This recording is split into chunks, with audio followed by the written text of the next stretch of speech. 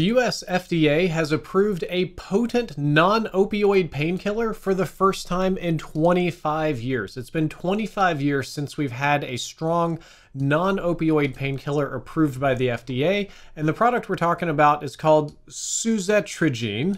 Hopefully, I'm saying that correctly, otherwise known on the market as Journavx. My goodness, these are hard to uh, pronounce, but it is promised to be a non addictive painkiller that's just as effective for acute pain as a common opioid treatment.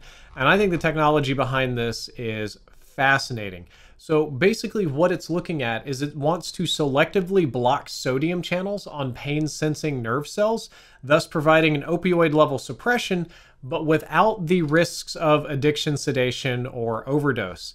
And the reason that we're kind of going this way is because we have discovered that there are multiple subtypes of sodium channels that control pain. Older drugs would just block all of them all at once, kind of indiscriminately, which would lead to issues with your heart and brain and addiction, etc., etc.